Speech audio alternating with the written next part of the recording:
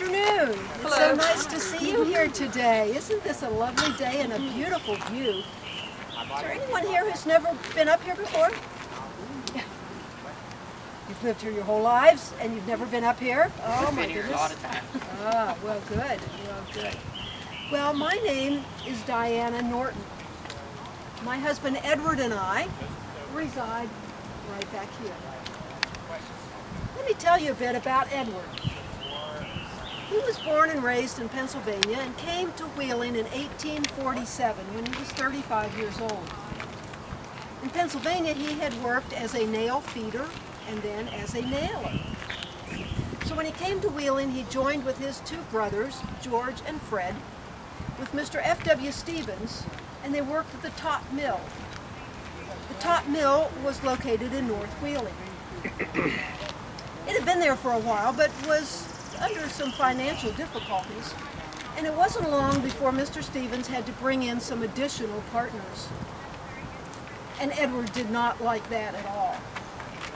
So he left and started his own mill and called it the Virginia Mill. It was located about where your Civic Arena is now. Well, he worked there for a couple years and then started another company. It was called Norton and Bailey and Company. He was in charge of sales. He also oversaw the finances and also did mechanical work in the mill itself. Quite a busy person. It wasn't long after that that some of his partners split off and formed Bailey Woodward and Company and that branch eventually became LaBelle Nail. Well, tensions were quite uneasy at that time in Wheeling. It looked like there might be war. The South was talking about leaving the Union, and of course Edward strongly supported the Union. He joined with two other prominent men in Wheeling. They were Alfred Caldwell, who had been a mayor of Wheeling, and you'll meet his wife a little later, and the other was Archibald Campbell, who was the editor of the Wheeling Intelligencer. They published pamphlets supporting the North and urging the rest of Wheeling to support the North. They pointed out, for example, that Wheeling was a northern city. After all, it was about the same latitude as Philadelphia. Most people in Wheeling did support the Union but there were others that did not, and of course many, many in the main part of Virginia supported the South. And the population as a whole voted to secede from the Union in April of 1861. Things got very uneasy then. Here we were, a northern industrial city, the terminus of the East-West B&O Railroad, on the banks of a major north-south waterway in the very edge of Virginia. We thought sure that we would be attacked. Well, we weren't, but we were able to keep track of what was going on in the rest of the country. I'll never forget the day that we read in the Intelligencer about the battle between two ironclad ships, the Monitor and the Merrimack. Ah, the technology of today. They put iron on the sides of the ships and those cannonballs just bounced right off. Well, you could see the wheels turning in Edward's brain. He immediately joined with his brothers, leased the top mill again, and began manufacturing inch-thick iron plate for the Union Navy. Well, in addition to saving countless ships and, and lives of sailors, that also became quite profitable. Well, Edward was busy in other ways at the same time. He and his friends, Mayor Caldwell and Editor Campbell, were, had been the three men who represented Ohio County at the convention in Chicago that nominated Abraham Lincoln for President of the United States.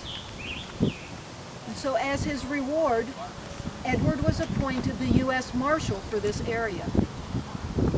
One of the first things he did was to write a letter to the United States Attorney General to get clarification on an act that Congress had just passed called the Confiscation Act. It basically said that Edward was allowed to confiscate the property of Confederates. And Edward wanted to make sure that he understood exactly how far he could go. I can still remember reading that letter before he sent it. His first sentence was, we are surrounded here by traitors.